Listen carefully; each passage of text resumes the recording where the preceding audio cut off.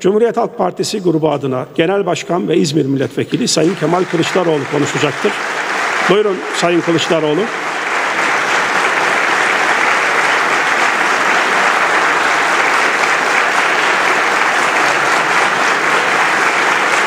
Süreniz 60 dakikadır.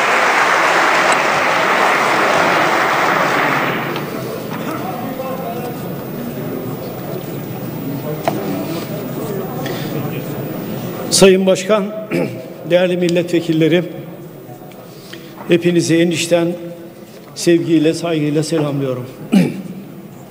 Bizleri televizyonları başında izleyen sevgili vatandaşlar, sosyal medya hesaplarında bizi izleyen sevgili gençler, radyolarının başında bizleri izleyen, bizleri dinleyen saygıdeğer vatandaşlarım, hepinize Cumhuriyet Halk Partisi adına sevgilerimi, saygılarımı ve muhabbetlerimi gönderiyorum. Değerli arkadaşlarım, Covid-19 salgınından söz edildi. Başarıdan söz edildi. Başarı kime ait?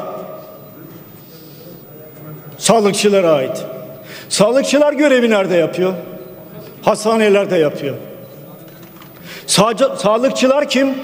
Cumhuriyetin yetiştirdiği en başarılı öğrencilerin gittiği tıp fakültelerinden mezun olanlar. Başarı var mı? Başarı var. 24 saat çalıştılar mı? 24 saat çalıştılar. Çocuklarını bile görmediler. Ailelerine bile rahatlıkla gidip görüşemediler, konuşamadılar. Peki sağlıkçıların başarısını ne yaptık? Hep beraber alkışladık. Onlar başarılıydı. Peki sağlıkçıların önüne hastaları gönderen kimdi? Önlemi almayan kimdi? Türkiye Cumhuriyeti vatandaşlarına yanlış bilgileri veren kimdi? Eksik bilgileri veren kimdi? Defalarca söyledim. Ya bir devlet, saygın bir devlet vatandaşına yalan söylemez. Doğru bilgiler vermediniz ısrar ettiler. Türk Tabipler Birliği söyledi. Ölüm sayısı çok daha fazla. Türk Tabipler Birliği'ni neredeyse linç edecektiniz. Ne oldu? Kim doğruyu söyledi? Türk Tabipler Birliği. Hangi noktaya geldik? Salgını önlemek için önlem alması gereken siyaset kurumu, hastayı iyileştirmesi için çalışan da sağlık kurumu. Sağlık kurumu üstüne düşeni yaptı. Siyaset kurumu serbest bıraktı. Neden önlem almadınız? Hangi gerekçeyle önlem almadınız? Hangi gerekçeyle mitingler düzenlediniz? Hangi gerekçeyle vatandaşları toplayıp kafalarına çay attınız? Hangi gerekçeyle salgın bu kadar bu boyutlara ulaştı ve hangi gerekçeyle haklı gerekçeyle Avrupa'da birinci olduk? Hangi gerekçeyle? Bana birisinin bir Allah'ın kulunu çıkıp söylemesi lazım. Hangi gerekçeyle? Doktorların, sağlık çalışanlarının başarısını kendinize mal etmeyin. Onlar kim ne derse desin bu ülkenin aydınlık insanlarıdır. Onlar günü 24 saatinde çalıştılar. Biz onlara dedi ki sağlıkçıların hiçbirisi AK Partili değildir. Lütfen. Bir dakika, bir dakika, bir dakika arkadaşlar, bir dakika. Sağlıkçıların tamamı devlet memurudur. İçinde her partiye oy veren insanımız vardır. Ama yapmamız gereken bütün sağlıkçıları alkışlamaktır. 24 saat çalıştılar. Çıktık dedi ki sağlıkçılara ya siyaset kurumu olarak birer aylık maaş verelim ya birer aylık ikramiye verelim. Vermediniz. Birer aylık ikramiye ikramiye vermediniz. Geçen bir yoğun bakım hemşiresiyle Zoom üzerinden sağlık çalışanlarıyla konuştum. Kaç lira yatıyor biliyor musunuz? Yoğun bakım hemşiresinin geçen ay banka hesabına yatan para kaç lira biliyor musunuz? 7 lira. 7 lira arkadaşlar. Bu kadar adaletsizliğin acaba farkında mısınız? Ya bir vicdani kanaatinizi ölçün ya. Bir yoğun bakım hemşiresiyle bir konuşun. Ne yaptılar bunların? Banka hesabına ne kadar para yattı? Bu bile yapılmadı arkadaşlar. Üzgünüm. Gerçeği görmek istemiyorsunuz. Gerçek bu. Acı ama gerçek bu değerli arkadaşlar. Dünyada en kötü yönetilen dördüncü ülkeyiz. Ben demiyorum. Bütün dünya söylüyor. Siyaset kurumu siz önlem aldığınızda biz karşı mı çıktık? Bakın Covid-19 olayı çıktığında hiçbir zaman bir buçuk iki ay asla iktidarı eleştirmedik. Nelerin yapılması gerekiyorsa onları saydık. Tek tek şunu yapın, şunu yapın, şunu yapın. Çünkü sorun bir parti sorunu değil. Sorun Türkiye sorunu. Sorun dünyanın sorunu. Bir bakmanız lazım. Şu soruyu hükümete sordunuz mu? Acaba Covid-19 dolayısıyla hükümetin stratejisi neydi? Neydi? Stratejinin şöyle olması lazım. Sağlık dolayısıyla salgını önleyecek önlemler alınacak.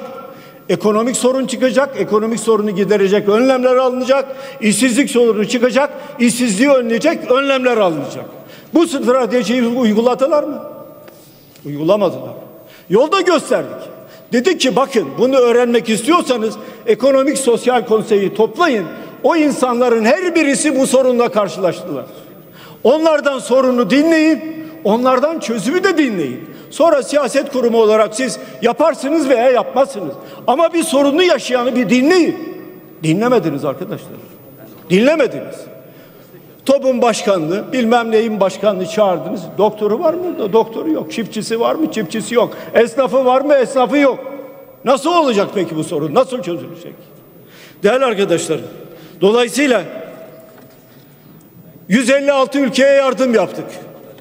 9 uluslararası kuruşa yardım sağladık. Ya şu soruyu sormadınız mı Allah aşkına kendinize ya? Beş tane maskeyi dağıtmak için aylarca iktidar kendi içinde tartıştı ya. Beş maske ya.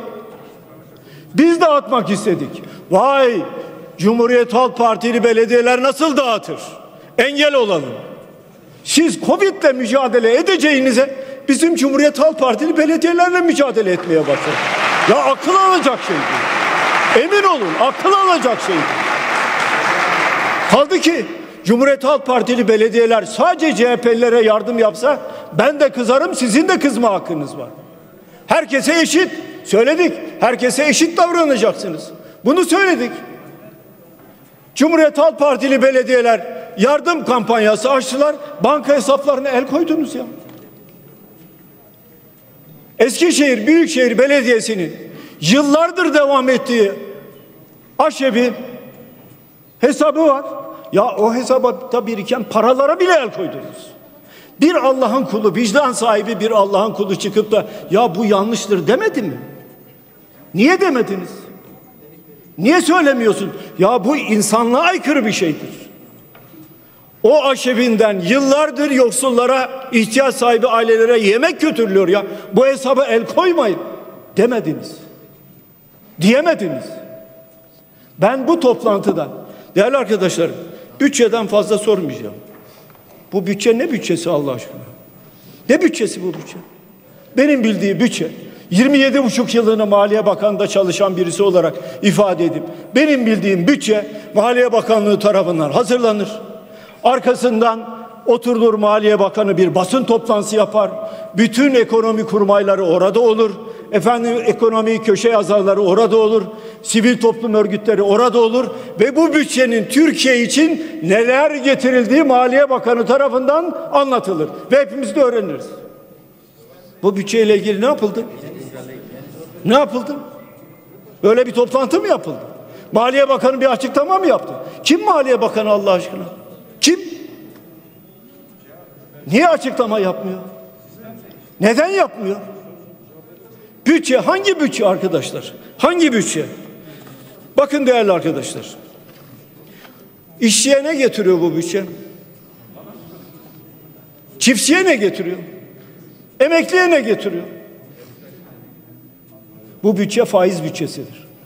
Bu bütçe açık ve net söylüyorum haramzadelerin bütçesidir. Haramzadelere hizmet edenlerin bütçesidir. Bakın bir daha söylüyorum.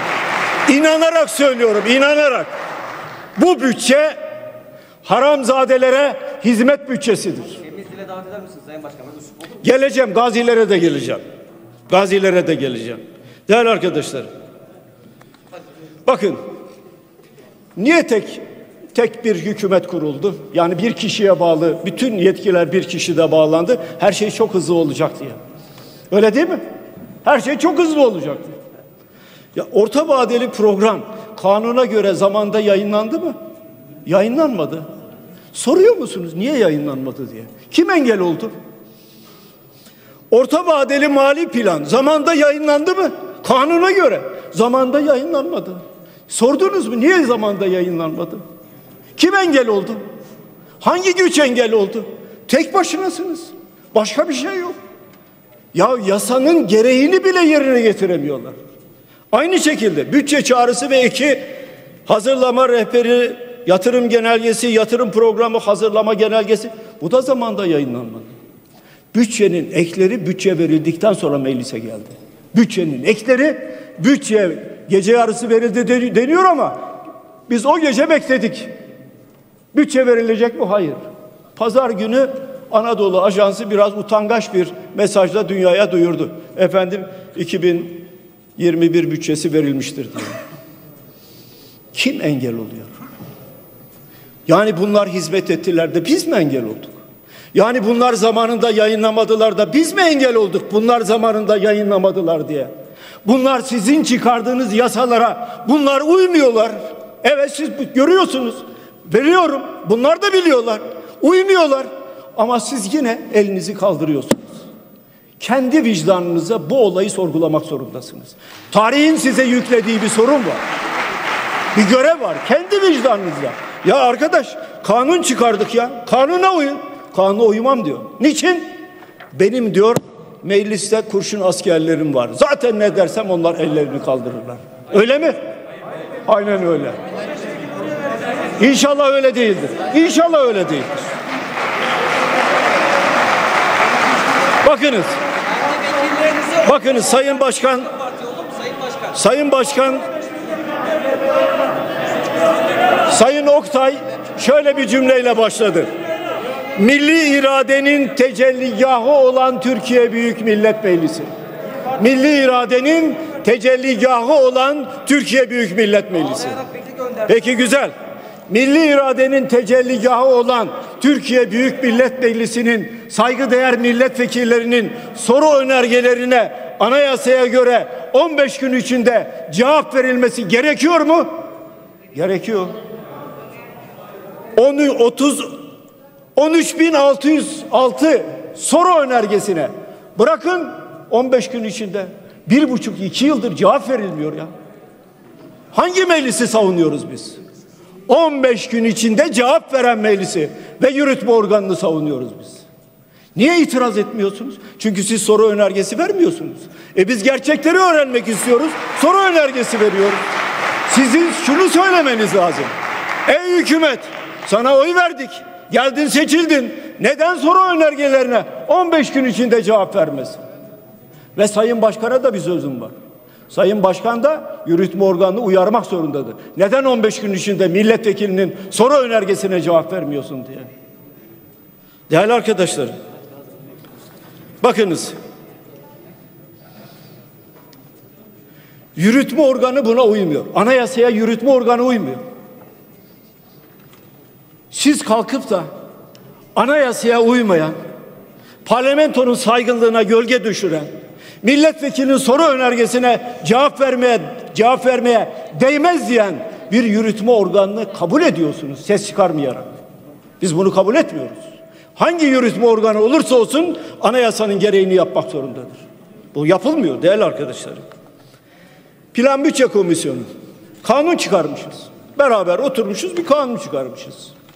Merkez Bankası gelecek Plan Bütçe Komisyonu'na yılın belli dönemlerde açıklama yapacak. Sosyal Güvenlik Kurumu, Sayıştay, Hazine ve Maliye Bakanı devlet desteklerinin izlenmesi ve denetlenmesi hakkındaki kanuna göre Sermaye Piyasası Kurulu Başkanı, Doğal Afet Sigortaları Kurumu Başkanı, Tasarruf Mevduatı Sigorta Fonu Başkanı, Sigortacılık ve Emeklilik Düzenleme ve Denetleme Kurumu, TÜİK ve Türkiye Varlık Fonu gelecek. Türkiye Büyük Millet Meclisi'ne bilgi verecek. Verdi mi? O zaman siz bu kanunlara niye evet dediniz? Ha kendi vicdanınıza sorun. Bunlar gelmiyorlar. Zamanında bilgi vermiyorlar. Canlarının istediği zaman geliyorlar. Bakın canlarının istediği zaman. Gelmiyorlar. E peki kanuna uymamak suçsa e bunlar uymuyorlar. Ne yapacağız şimdi? Ay ne yapacağız şimdi? Bu parlamento neydi? Milli iradenin tecelligahıydı. E milli iradeyi takmıyor bunlar. Takmıyorum diyor ben seni. Gelmeyeceğim diyor. Ne demek bu arkadaşlar ya?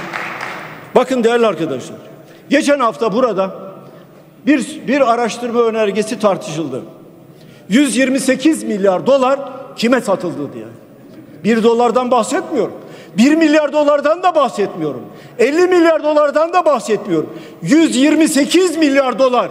Dolar düşükken kimlere satıldı? Buna hayır dediniz. Niye hayır dediniz? Evde çocuklarınız bu soruyu sorarsa ne cevap vereceksiniz Allah aşkına? Vicdan sahibi olarak ya 128 milyar dolar kime satıldı ya? Ya bunu bilelim. Şimdi 128 milyar doları çiftçi mi aldı? Emekli mi aldı? Köylü mü aldı? Sokakta simit satan mı aldı? Çaycı mı aldı? Kuaför mü aldı? Kim aldı 128 milyar doları? Ya bu soru havada. E, milli iradeci, iradenin tecelligahı olan bu kurum bunu araştırmayın, malı götürene de dokunmayın dediği andan itibaren buranın saygınlığını törpülenir arkadaşlar. Değerli arkadaşlar, tüyü bitmemiş yetimin hakkına sahip çıkmak zorundayız. Adalet istiyorsan. Tüyü bitmemiş yetimin hakkına. Tüyü bitmemiş yetimin hakkına sahip çıkmayı bir tarafa bıraktınız. Dolar lordlarının arkasında kale gibi durmaya başladınız. Ya kabul edilir mi bu? Kabul edilir mi bu? Değerli arkadaşlar,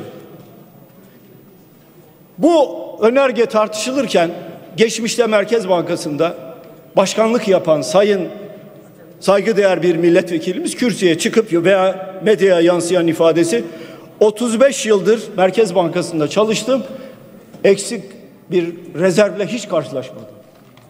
Eksi 47 milyar dolar. Eksi. Merkez Bankası'nın kasasına. Eksi 47 milyar dolar. Eksi 47 milyar dolara bu, bu düzen nasıl geldi arkadaşlar? Kim getirdi? Kim bu ülkeyi yönetiyor? 1 lira değil, 5 lira değil, 100 lira değil. Eksi 47 milyar dolar. Yani bizim çocuklarımızın ve torunlarımızın ödeyeceği bir para. 128 milyar doları araştıralım, araştırmayın. 47 milyar dolar eksimiz var, araştırmayın. Neyi araştıracak bu milli iradenin tecelligahı olan bu kuru? Neyi araştıracak? O zaman arkadaşlar Kanaryalar ne kadar yaşar diye bir önerge verin. Belki arkadaşlar bunu evet derler. Bize Kanaryaları öğrenmiş olur. Ne olduğunu. Bakın değerli arkadaşlar. Biz yerli ve milli izliyorsunuz. Güzel. Yerli olduğunuzdan hiçbir tereddütüm yok. Ama milli olduğunuz konusunda endişelerim var. Sayacağım. Tek tek sayacağım. Bakın bir ülkenin milliliği nereden anlaşılır? Parasıyla. Türk lirası. Osmanlı gittiğinde kendi topraklarına bir ülkeyi kattığında Osmanlı'nın sikkesini basardı. Niçin? Burası bana aittir derdi. Öyle mi? Öyle. Güzel. Şu anda Türkiye Cumhuriyeti'nin bankalarında mevduatın kaçı dolar üzerinden? Yüzde 56.3'ü. Türkiye Cumhuriyeti'nin bankalarında var olan mevduatın yüzde 56.3'ü Amerikan doları. Bu nasıl millilik ya? Bu nasıl bir politika ki ülkeyi bu hale getiriyor? Niçin? Vatandaş güvenmiyor. Paramı, tasarrufumu dolar olarak tutacağım diyor. Türk lirası erir diyor. Bakın değerli arkadaşlarım. Türk lirasını kim itibarsızlaştırdı? Bu hale kim getirdi? 18 yıldır bu ülkeyi yönetenler Türk lirasını bu kadar bu kadar kötü bir pozisyonla karşı karşıya getirdiler mi? E getirdiler. Bakın bir şey daha söyleyeyim. Bu dediğim banka mevduat parası hiç değilse para orada duruyor. Döviz geliri olmayan şirketlerin döviz üzerinden borçlanmasına imkan sağladılar kararnameyle. Düşünün. Döviz geliri yok. Ama döviz üzerinden borçlanabilirsin diyor. Niye döviz üzerinden borçlanıyorsun? Türk lirası yok bu ülkede. Yasaklanmıştı bu. Rahmetli Ecevit hükümeti döneminde yasaklanmıştı. Türk lirası döviz geliri olmayan şirketler döviz üzerinden borçlanamazlar. Döviz gelirin varsa borçlan ama döviz gelirin yoksa döviz üzerinden borçlanma. Türkiye'yi batırıyorsun çünkü. Ne yaptılar? Kaldırdılar bunu. Şimdi döviz üzerinden borçlanabiliyorsunuz. İstanbul Belediyesi borçlandı. Açtınız yolu tabi. İstanbul Belediyesi bu borç.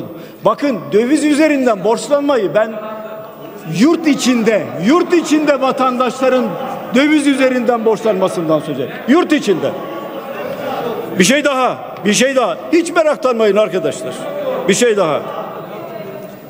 Kendi vatandaşlarından yani Türkiye Cumhuriyeti devletinin hükümeti kendi vatandaşlarından, Türkiye Cumhuriyeti vatandaşlarından dolar üzerinden borçladı. Ne diyeceksiniz? Buyurun söyleyin bakayım. Kendi vatandaşı. Türkiye Cumhuriyeti vatandaşı. Devlet Türkiye Cumhuriyeti devleti borçlanma dolar üzerinden. Niçin? O vatandaş sana borç vermiyor. Dolar olursa borcu veririm diyor. Bu güvensizliği yaratan kim? Kim bu güvensizliği yaratan? Değerli arkadaşlarım, Türk lirasını itibarsız hale getiren 18 yıldır bu ülkeyi yönetenlerdir. Sağa sola kaçmaya gerek yok. Sağa sola kaçmaya gerek yok. İktisat okuyan arkadaşlarım Gresham Kanunu diye bir kanunu bilirler herhalde. Kötü para iyi parayı kovar diye. Herkes iyi parayı tutar, kötü parayı elinden çıkarmaya çalışır. Şu anda Türk lirası kötü para ama döviz iyi para. Herkes dövizi tutuyor. Bankalardaki mevduatın yüzde 56'sı böyle. Siz acaba Iğdır'daki İhsan Salman'ı bili- duydunuz mu hiç? Unuttunuz değil mi? Ama bu kardeşiniz unutmadı. Ne yaptı se- sevgili Sayman? Berber, Salman. Berber. 250 dolar borç kim gider bozdurursa ben onu üç sefer bedava tıraş yapacağım dedi. Bakın o daha milliyetçi. O daha vatansever. Siz onun hakkına bile sahip çıkmadınız. Onun hakkına bile. Değerli arkadaşlarım. Yılbaşından bu yana dolar karşısında Türk lirası yüzde 23.6, avro karşısında Türk lirası yüzde 29.7 oranında değer kaybetti. Ne anlama geliyor bu? Anlatayım size. Şu anda İstanbul Menkul Kıymetler Borsası'nda Türkiye'yi taşıyan 30 büyük şirket var. Bunlar Akbank, İş Bankası, Garanti Bankası, Halk Bankası, Oyak Çimento, Ereğli Demirçelik, Koç Holding, Sabancı Holding, Doğan Holding, Tüpraş, Petkim, Türk Telekom, Türksel, Türk Hava Yolları gibi 30 şirketin 2017'deki toplam piyasa değeri 150 milyar dolardı. 150 milyar dolar. Bugünkü değeri ne bunların? 60 milyar dolar.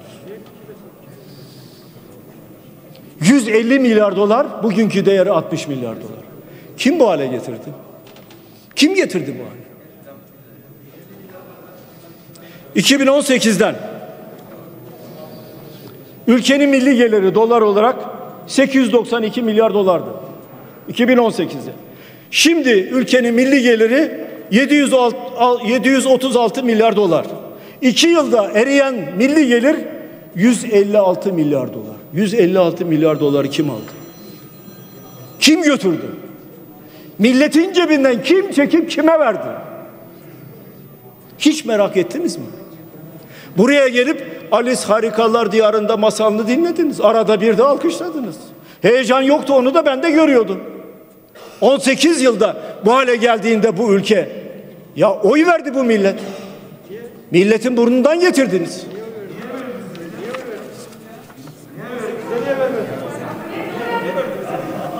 Oyu geri alacak meraklanmayın. Verdiği oyu geri alacak. Göreceksiniz bakın. Göreceksiniz. Allah'ın izniyle bakın bir daha söylüyorum. Allah'ın izniyle göreceksiniz. İlk seçimde nasıl tıpış tıpış yol edeceğini bu milletin göreceksiniz.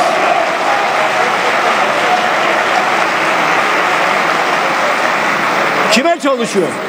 Kime çalışıyor? Kime çalışıyor? Arkadaşlar lütfen, arkadaşlar Dinleyin arkadaşlar. lütfen böyle bir usulümüz yok. azaldı. 18 yılda 18 yılda arkadaşlar lütfen 18 yılda 18 yılda Bütçeden yapılan faiz ödemesi ne kadar? 492 milyar dolar. 18 yılda bütçeden yapılan faiz ödemesi 492 milyar dolar. Her gün kaç milyar milyon dolar ödüyoruz? Her gün 75 milyon 573 bin 63 dolar faiz ödüyor Türkiye.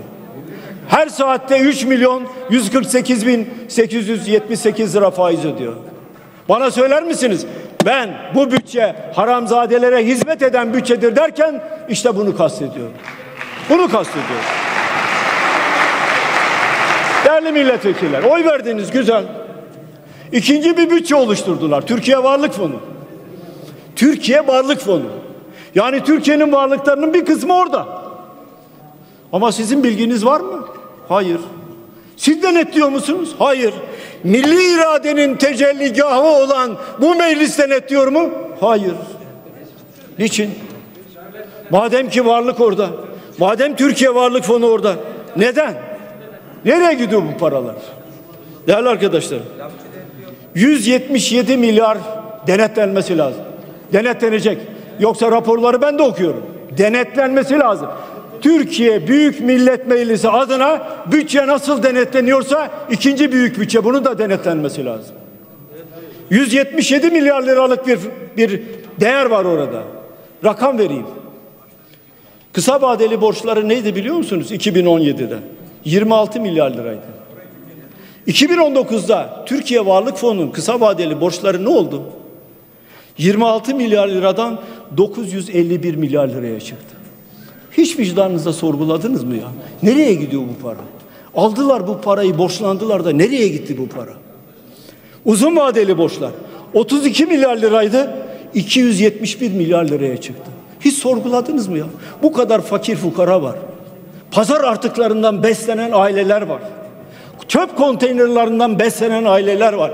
Nereye gidiyor bu para? Nereye gidiyor? Nereye gidiyor Allah aşkına? Nereye gidiyor? Bakın Borsa İstanbul da bunun içinde. Türkiye Varlık Fonu'nun içinde. Yüzde onlu Katarlara sattılar. Sorduk kaça sattınız? 200 milyon dolara.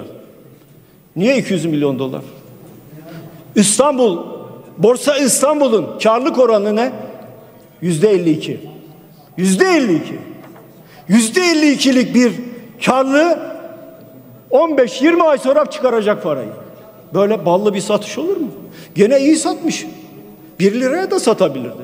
Çünkü tek yetkili var. İhale kanuna tabi değil.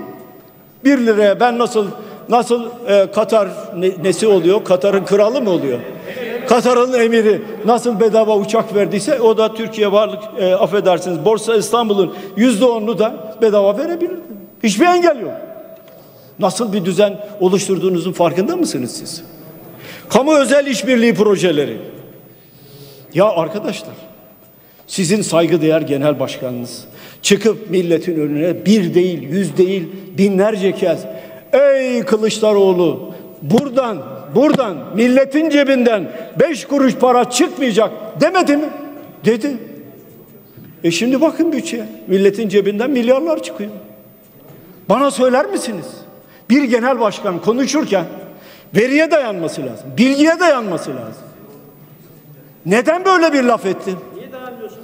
Ben dayanıyorum. Her söylediğim her cümle doğrudur bakın. Söylediğim her cümle doğrudur. Ama sorun şurada. Sorun şurada. Sorun şurada. Aklını bir dakika arkadaşlar bir dakika bir dakika. Özgür Bey bir dakika. Aklını kiraya verenler gerçekleri göremezler. Bir daha söylüyorum. Aklını kiraya verenler gerçekleri göremezler.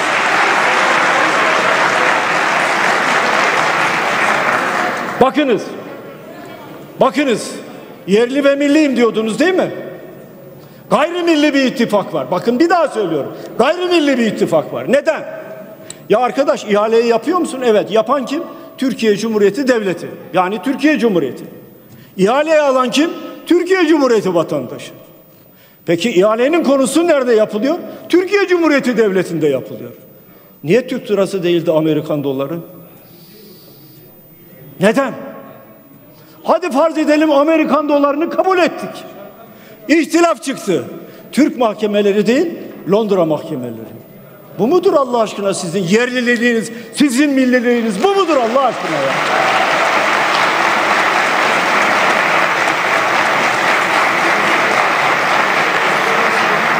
Bakınız sadece dolar vermiyorsunuz. Bu insanlara beşli çete diyoruz. Bunlara sadece dolar vermiyorsunuz. Bunlara aynı zamanda Türk lirası eridikçe kur farkı veriyorsunuz. 2000 2014 2019 kaç lira kur farkı ödendi? Ben sö- söylemeyeyim. Sayıştay raporu. 61 milyar 719 milyon 322 bin lira kur farkı ödendi. Çiftçiye ne verdiniz?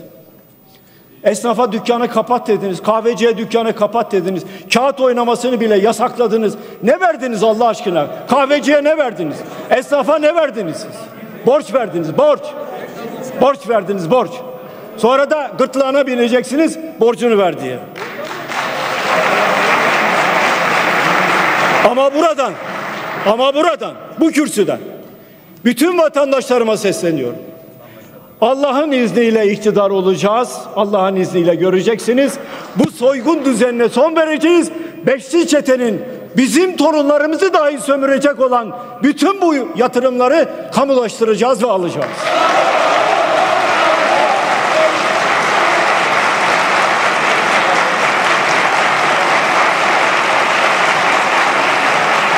Bir dakika arkadaşlar sürem azalıyor. Teşekkürler. Çiftçiye ne verdiniz dedim. dedim. Esnafa ne verdiniz? Bir lira bedava bir şey verdim bir lira. Bir kuruş verdiniz mi vermediniz. Manava verdiniz mi vermediniz. Kime ne verdiniz? Katar'a verdiniz. Aynen 500 milyar. Ne oldu biliyor musunuz? Teşekkür ederim. Bana hatırlattınız. Maçların yayınlanma hakkını Katar firması girdi. 500 milyon lira aldı. 500 milyon liraya ben yayınlayacağım dedi. Dolar aldı başını gittim. Ben dedi anlaşmaya uymuyorum. Parayı da ödemiyorum.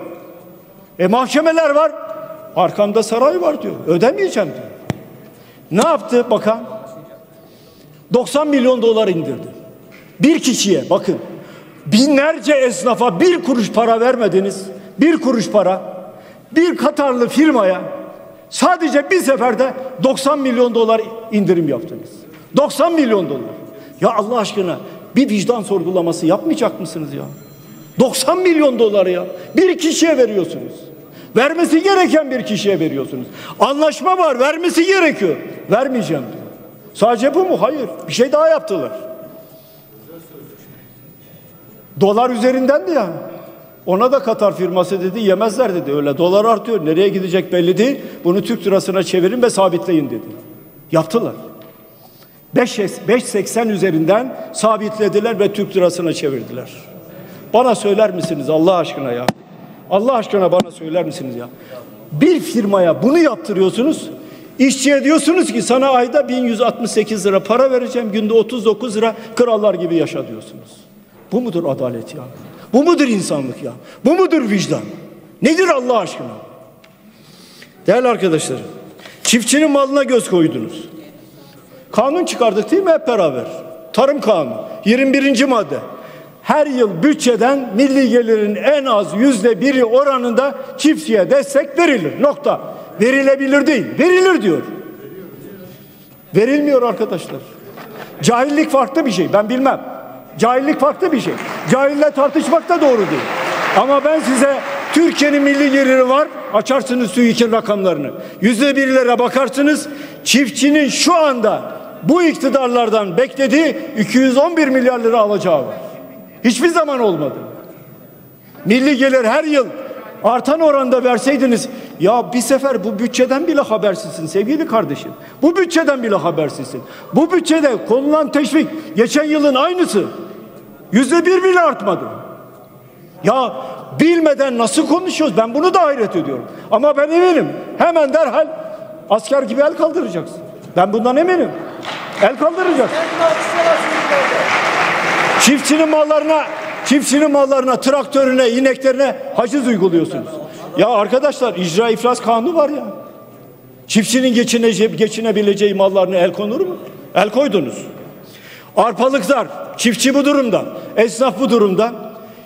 Çöplerden kağıt toplayan vatandaş bu durumda perişan vaziyette. Pazar artıklarından geçinenler var. Ama sizden bazıları, özür dilerim sizden derken sizi kastetmiyorum. Bu tarafı kastediyorum.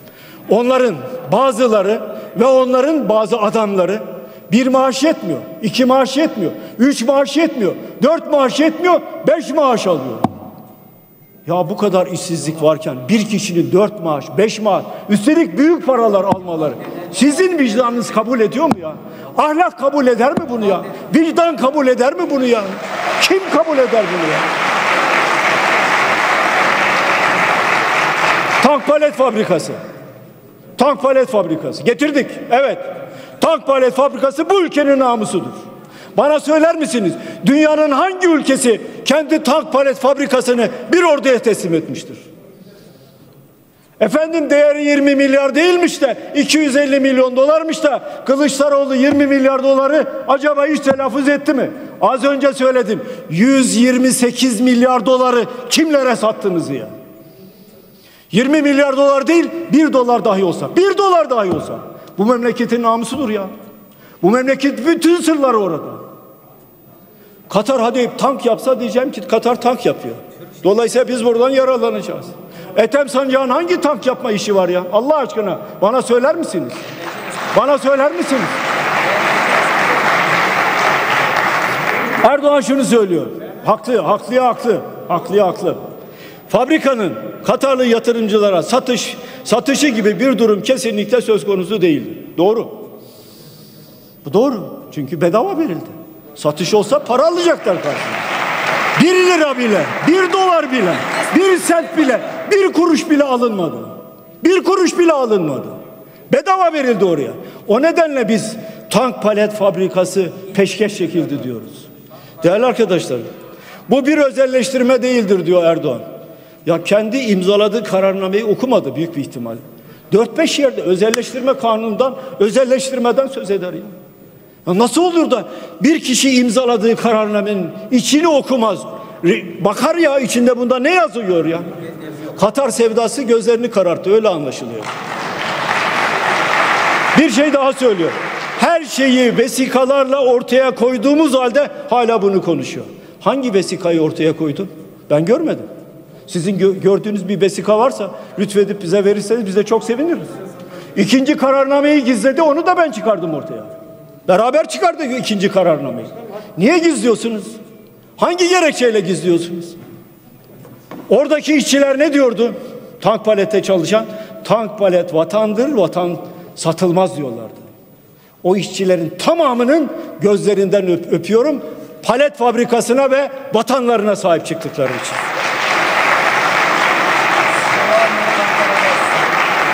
Hadi onu da geçelim. Onu da geçelim. 2018 9 Kasım.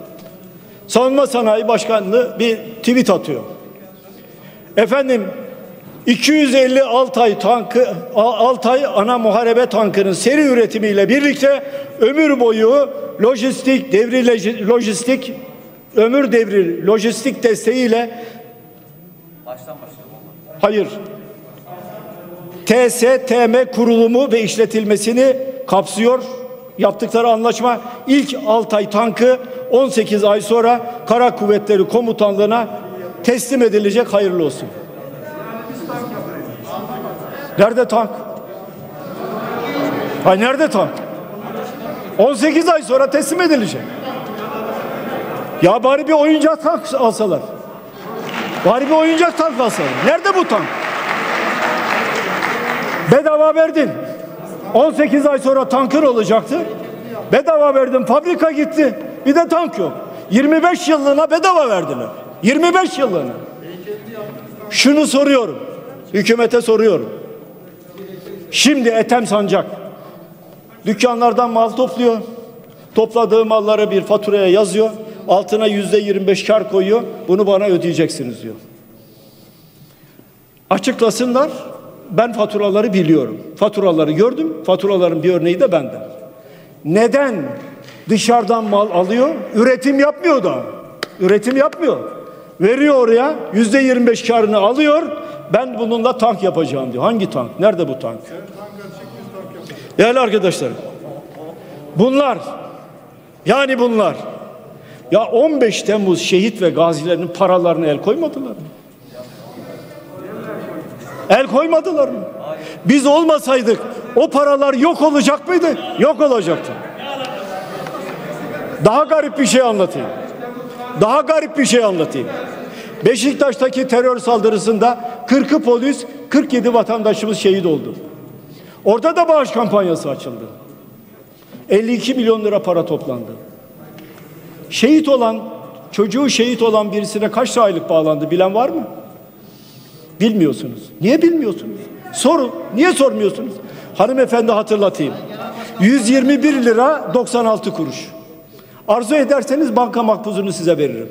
Şimdi siz vicdani olarak terörde şehit olan bir polisin babasına 121 lira 96 kuruş aylık bağlanmasını doğru diyorsanız yerinizde kalın.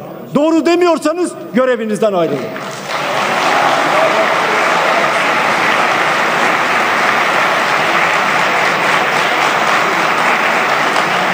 Vereceğim, vereceğim. Makbuzu vereceğim size. Hiç kimsenin bu ülkede can ve mal güvenliği yok. Bir daha söylüyorum. Bu ülkede hiç kimsenin can ve mal güvenliği yok. Adalete olan güven sartılmış vaziyette. Katarlara Borsa İstanbul'u satarken masada kim vardı? Kim vardı masada? Hiç merak ettiniz mi ya? Orada bir iş adamı vardı. O adam, o iş adamı 17-25'ten sonra Pensilvanya'ya gitti. 17-25'ten sonra Zaman Gazetesi'nin yüzde onunu satın aldı. O iş adamı bankasıya para yatırdı. Ya bankasyanın önünden geçen adamları hapse attığınızda bu adam nasıl oluyor da o protokol masasında oturuyor? Devletin protokol masasında oturuyor. Ya askeri öğrencileri yakalayıp hapse attınız. Nasıl oluyor da bu adamı başınızın üstünde taşıyorsunuz? Mitin raporlarını görmediniz mi? Masakın raporlarını görmediniz mi? Bakınız neden orada? Onu da söyleyeyim. Bu FETÖ iddianamesi, çatı iddianamesi orada da geçiyor. Ama kimse buna dokunamıyor. Kimse dokunamaz. Neden? Avukatları Sayın Erdoğan'ın avukatları. Bakın Antalya Üniversitesi, Antalya Bilim Üniversitesi. Bu üniversite hepsini kapattılar, bunu kapatmadılar. Başkanı kim? Fettah Taminci. Başkan vekili kim? Ahmet Özel. Cumhurbaşkanının avukatı. Üye Cumhurbaşkanının avukatı Ahmet Kürşat Köhle. Mustafa Doğan İnal. Tevfik Günal Cumhurbaşkanının avukatları bunlar. Devlet protokolünde yer alıyorlar bunlar. Niye dokunamıyorlar buna? Kimse dokunamaz. Kimse dokunamaz. Değerli arkadaşlarım. Bir şey daha. Bakın burayı iyi dinlemenizi isterim. Bir Fransız şirketi Türkiye'de bizim vatandaşların alacakları var. Dava açılıyor ve kazanılıyor. Ama bütün alacaklar dava açsa şirket zor duruma düşecek. İlk yaptıkları iş ne? Cumhurbaşkanlığı avukatlarını bulmak. Buluyorlar. Oturuyorlar. İki hakimi de çağırıyorlar mahkemede değil dışarıda. İki hakimi de çağırıyorlar. Fransız yetkili, onun avukatı, Cumhurbaşkanının avukatı ve ayrıca iki kişi. Bakın Cumhurbaşkanının avukatı karşısında oturan hakime şunu söylüyor. Gerekçeli karar yayımlanmadan görelim, düzeltelim. Mahkemede demiyor bunu. Hakime söylüyor bunu. Kim söylüyor? Cumhurbaşkanının avukatı söylüyor. Gerekçeli yalanlanma diyor ses kaydı var. Ses kaydı var arkadaşlar. Sizin dünyadan haberiniz yok. Sizin gözleriniz görmüyor gerçekleri. Adalet Kurumu'nun içini çürüttünüz ya. İçini çürüttünüz Adalet Kurumu'nun. Anayasa Mahkemesi kararlarını ben mi uygulamıyorum Allah aşkına? Anayasa Mahkemesi kararları kim uygulamıyor? Avrupa İnsan Hakları Mahkemesi kararını kim uygulamıyor? Ben mi uygulamıyorum? Biriniz çıkıp da Anayasa Mahkemesi kararlarının uygulanması gerekir dediniz mi? Diyemezsiniz. Diyemezsiniz. Onu ancak biz söyleriz. Biz devleti severiz ama sizlerin sizlerin sorunu var. Devletin yapısıyla ilgili sorununuz var. Basın ürdür sansür edilemez. Bakın Adalet Kurumu'nu en çok perişan eden uygulamalardan birisi basın ilan kurumu ve rütük. Ne yaptı bunlar Allah aşkına? Basın ilan kurumu doğru haber yazdı diye. Doğru haber yazdı diye. Gazeteleri cezalandırıyor. Bir ay, üç ay, beş ay efendim bunlara basın ilan kurumu ilan vermeyecek diye. Niye ilan vermiyor? Haber yanlış mı? Haber doğru. Fahrettin Altun Pergule'de pergule yaptı mı? Yaptı. İzin aldı mı? Almadı. Biz onun pergule yapmasına karşı değiliz bakın. Yapabilir. O da bir vatandaş. Gider başvurur, dilekçesini verir. E, Cumhurbaşkanının iletişim başkanıdır denir. Kolaylık da gösterilir. Gider orada pergülesini yapar. Ama bir ülkenin cumhurbaşkanının danışmanı, basın danışmanı, ben yasaları dinlemem, ben kimseden izin almam. Ne demek izin almak? Pergüleyi yaparım, hiç kimse de sesini çıkarmaz. Dediği andan itibaren o zaman orada dur diyeceğiz. Yıkmak zorunda kaldı. Yıkmak zorunda kaldı. Peki ayıp olan ne? Ayıp olan bu haberi, doğru haberi yapan gazeteye ceza vermek. Ayıp olan budur. Bu mudur demokrasi? Rütük aynı şekilde değerli arkadaşlarım. Bakın basın ilan kurumu aracılığıyla devlet soyuluyor. Sayın Oktay, basın ilan kurumu aracılığıyla Türkiye Cumhuriyeti devleti soyuluyor. Öyle gazeteler var ki tirajı yok. Bayilerde de yok. Bakıyorsunuz 50 bin satış. 50 bin satış üzerinden basın ilan kurumundan ilan alıyor. Hazır para. Hazır para. 5 tane gazete çıkar 50 bin diye ver. Yeter ki arkanda hükümet olsun. Sayın Oktay eğer bu ülkeyi seviyorsanız, eğer bu ülkede adaletsizliğe karşıysanız derhal basın ilan kurumu aracılığıyla mı olur? Siz mi yaparsınız? Gazetelerin tirajları objektif bir kurum tarafından denetlensin. Para ona göre verilsin ya. Devlet soyulur mu ya? Güneş diye bir gazete vardı hatırlarsınız. 150 bin tirajı vardı. Kapattılar.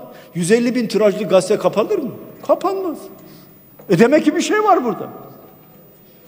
Değerli arkadaşlarım.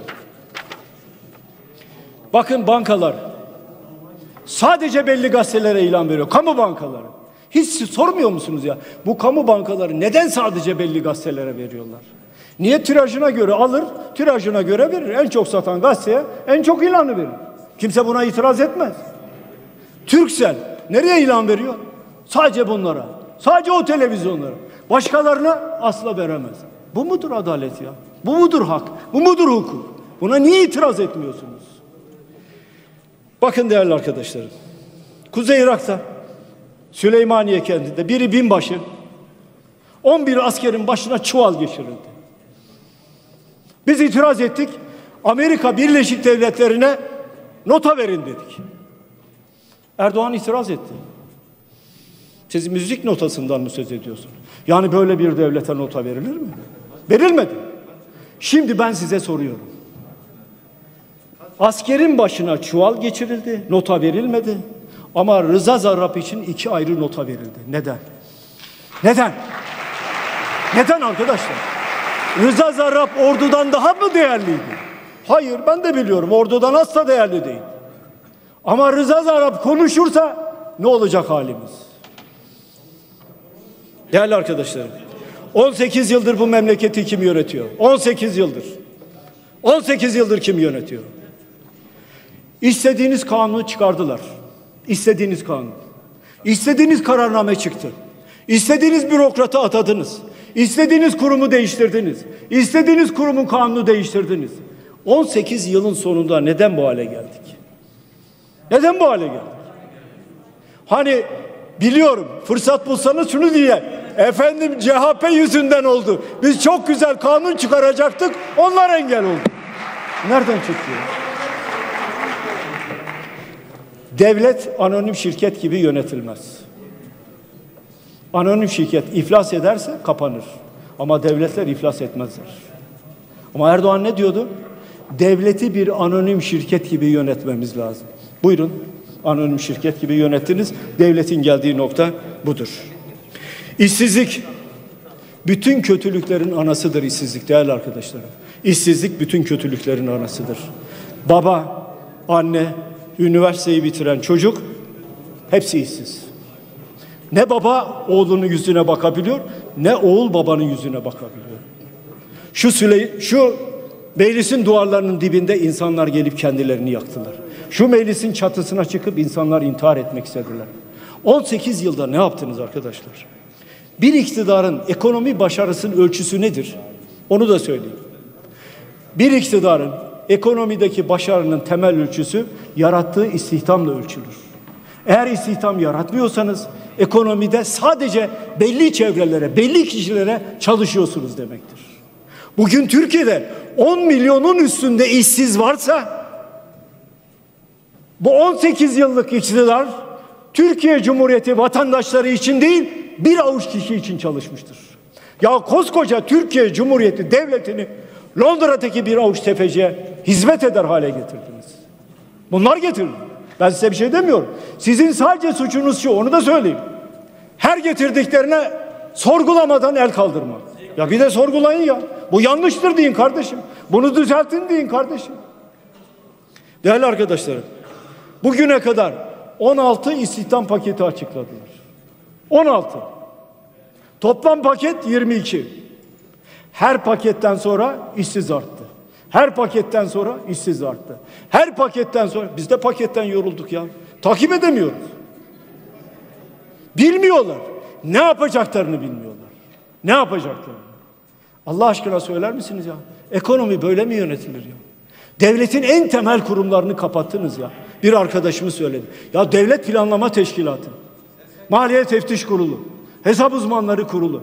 Bakın biz değerli milletvekilleri, ben hesap uzmanı iken biz giderdik üniversitelere, hocalara derdik ki hocam en çalışkan öğrenciler hangileri? Gider o öğrencilere yalvarırdık gel bizim sınava gir diye. Biz teftiş kurulu aramızda çekişirdik. En çalışkan öğrenciyi biz alıyoruz diye. Devlet Planlama Teşkilatı en nitelikli öğrencileri alırdı. Master'ı, doktorasını yapan. Bu kurumları kapattınız. Devlette liyakat yok. Zaten tek adam rejiminde liyakat olmaz. Neden? E bir kişi karar veriyor. Alttakine gerek yok ki. Gerek yok. Bakın değerli arkadaşlarım. Akdeniz'de bir gemimizi bastılar. Onlar açıklama yapmasa, Avrupa Birliği'nin yetkilisi açıklama yapmasa gerçeği öğrenemeyeceğiz. Diyorlar ki biz gemide arama yapacağız. Türkiye Cumhuriyeti Devleti izin verir mi? Dört saat geçiyor cevap veren yok. Dört saat. Bunun üzerine Roma Büyükelçisi ya bir saat daha bekleyin diyor. Belki cevap alabiliriz. Beşinci saat geçiyor gene cevap yok. Niye yok? Çünkü kimse Erdoğan'a ulaşamadı. Ya bu ülkenin Dışişleri Bakanı yok mu? Bu ülkenin kaç tane Dışişleri Bakanı var? İbrahim Kalın mı Dışişleri Bakanı? Hulusi Akar mı Dışişleri Bakanı? Yoksa Mevlüt Çavuşoğlu mu Dışişleri Bakanı? Kim Dışişleri Bakanı? Beş saat arkadaşlar. Sonra ertesi gün bizim dışişleri açıklama yapıyor. Efendim sabah böyle oldu. 17.45'te gemiye indiler. Kınadık. Siz de kınadınız. Hepimiz kınadık zaten. Beş saat ne oldu bu Türkiye'de? Beş saat. Ne oldu? Hiç sordunuz mu? Beş saatte ne oldu? Değerli arkadaşlarım, dört kişilik bir ailenin açlık sınırı 2517 lira. Açlık sınırı, yoksulluk demiyorum. Açlık sınırı 2517 lira. Bugün asgari ücret 2324 lira. Gelin şu kararı alalım. Bir temenni kararı. Hep beraber alalım. Asgari ücret 3100 lira olsun. Ve vergiden muaf olsun. İşverene de yük olmasın. İşçi hakkını alsın. 3100 lira. Bakın 5 yerden maaş alanlar 3100 lira almıyor her bir yerden. Her bir yerden en az 10 bin lira alıyorlar. En az 10 bin lira alıyorlar. Ya işsize bari 3100 lira olsun asgari ücret. Vergiden de muaf olsun. Vergiden muaf olduğu zaman işverene de yük gelmeyecek. Mesele bitmiş olacak. Gelin bunu yapalım. Onlar yapmadı. Yani iktidar yapmadı. Parlamento yapsın. Asgari ücretleri savunalım. Asgari ücret ortalama ücret oldu. Felaket bir pozisyon değerli arkadaşlarım. Dolayısıyla bütçeyi tefecilere teslim etmeyelim de bütçeyi hak sahiplerine teslim edelim. İşçiye, emekliye, köylüye, memura, bütün bunlar üretene, sanayiciye, alın teri dökene Bunlara hizmet edelim. Londra'daki tefeciler faizi bizim istediğimiz faizi onlar bize dikte ettiriyorlar. Farkında mısınız? Türkiye Varlık Fonu üç kez ihaleye çıktı. Uluslararası ihaleye. Eylül'de çıktı. Kimse para vermedi. Bir daha çıktı. Kimse para vermedi. Üçüncü sefer çıktı. Kimse para vermedi. Çünkü onların istediği faiz yüksek. Şu faizi verirsen sana veririz dediler. Dikte ettirdiler. Bakın değerli arkadaşlar. Türkiye Cumhuriyeti Devleti'nin aldığı iki buçuk milyar dolarlık faizin daha düşüğünü bizim belediyelerimiz alıyor. Daha düşüğünü. Hazine garantisi değil arkadaşlar. O öbürü de devlet garanti. Devlet alıyor arkadaşlar. Eğer faizi Türkiye Cumhuriyeti Devleti'nin hazinesinden daha düşük faizi alıyorsa bize duyulan güvenin boyutunu düşüneceksin arkadaş. Düşüneceksin. İzmir Belediyesi kamu bankalarından daha düşük faize uluslararası piyasalardan yatırım için para buluyorsa bize olan güveni düşüneceksin. Evet düşüneceksin bize olan güveni. Buradan ifade edeyim. Hiç kimse umutsuzluğa kapılmasın değerli arkadaşlarım. Türkiye büyük ülkedir. Türkiye bütün sorunlarını aşabilecek kadrolara da sahiptir, yetkinliğe yetkinliğe de sahiptir. Hepimiz hep beraber alın terinden yana olacağız. Emekten yana olacağız. işçiden yana olacağız. Çiftçiden yana olacağız. O pazar pazar artıklarından beslenen ailelerin çöp konteynerlerinden beslenen ailelerin ayıbını kaldırmak Allah'ın izniyle bize nasip olacaktır. İlk seçimlerde, ilk seçimlerde demokrasiyi getireceğiz. İlk seçimlerde adaleti getireceğiz. İlk seçimlerde liyakati getireceğiz. İlk seçimlerde alın terinin ne kadar değerli olduğunu bütün dünyaya anlatacağız. İlk seçimlerde Türkiye Cumhuriyeti Devleti'ni Londra'daki tepecilerden kurtaracağız. Herkesin bunu bilmesi lazım. Evet değerli arkadaşlar. Biz Değerli arkadaşlarım. Hangi noktaya geldiniz? Hangi noktaya geldiniz? Benim aday ol, olup olamayacağımı size kim söyledi? Kim söyledi? Kim söyledi? Ben ne istiyorum? Ben ben tek adam rejimi istemiyorum. Ben ülkesinde ülkesinde esnafın ensesinde boza pişiren bir yönetim istemiyorum. Ben parlamenter sistem istiyorum. Demokratik, hakçı, parlamenter sistem istiyorum.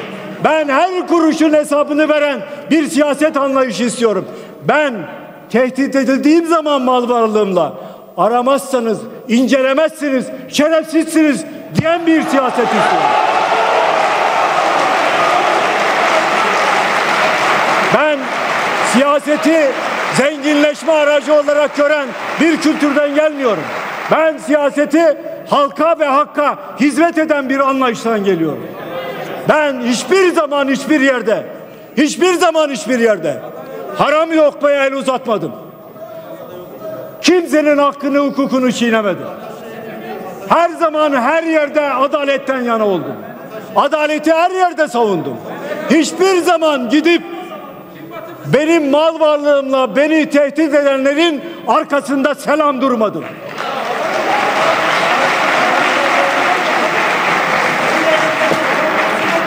Değerli arkadaşlarım, bugün borç alırken, borç öderken borç alıyorsunuz. Borç ödemek için borç alıyorsunuz. Borcun faizini ödemek için de borç alıyorsunuz. Evet, bu gerçekleri bilin. Hayat acı ama bu gerçekleri bilin. Hiç endişeniz olmasın. Arı gibi çalışıyor bütün belediyelerimiz. Arı gibi çalışıyor. Söyledim. Hangi engeli çıkarırlarsa çıkarsınlar asla şikayet etmeyeceksiniz. Asla. Vatandaşlar arasında hiçbir ayrım yapmayacaksınız. Önce sizin ihmal ettiğiniz Yoksul mahallelerden başlayacaksınız dedim. Onlara hizmet götüreceksiniz dedim. Engel yok ama halka hizmet sonuna kadar var dedim. Ve öyle yapıyorlar. Böyle yapıyorlar. Şu Ankara'yı ya Ankara'yı parsel parsel satan diyen siz değil miydiniz? Siz değil miydiniz? Parsel parsel satan adama hesap sordunuz mu? Arkasında duruyorsunuz ya. Ankara'yı parsel parsel satan adamın arkasında duruyorsunuz ya. Nasıl olur ya bu? Nasıl olur bu ya?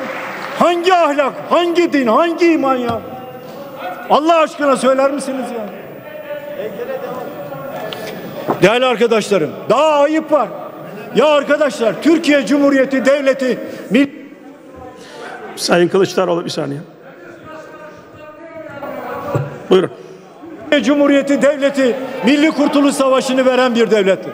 Ya arkadaşlar hiç konuşmayın. Ne derlerse desinler. Önemli değil. Değil önemli. Türkiye Cumhuriyeti Devleti Milli Kurtuluş Savaşı'nı veren bir devlettir. Türkiye Cumhuriyeti Devleti'ne rüşvet alan kişinin büyükelçi olarak atanması yakışır mı ya? Yakışır mı ya? İki kişi ya. Ya rüşvet aldığı belli. Rüşvet aldı. Çikolata kutularında. Öbürünün de rüşvet belgesini mahkemedeki dosyadan çıkarıp açıkladım ya. Büyükelçi atadınız ya. Bayrağında, arabasında Türk bayrağı taşıyacak bu adam. Benim ağrıma gidiyor ya. Sizin ağrınıza gitmiyor mu ya? Sizin ağrınıza gitmiyor mu ya? Sizin içinizden, onu da söyleyeyim. Sizin içinizden son derece değerli insanlar var bakın. Eleştiriyorum ama son derece değerli insanlar var. Türkiye'yi en iyi temsil edecek insanlar var. Ya bu insanlar varken neden rüşvetçiler büyükelçi olarak atanıyor? Neden? Benim aklım bunu almıyor. Ama sizin bir gerekçeniz varsa e çıkıp bu kürsüden söylersiniz. Şunun için biz rüşvetçileri büyükelçi Şunu açalım ya. saygılar sunuyorum değerli arkadaşlar.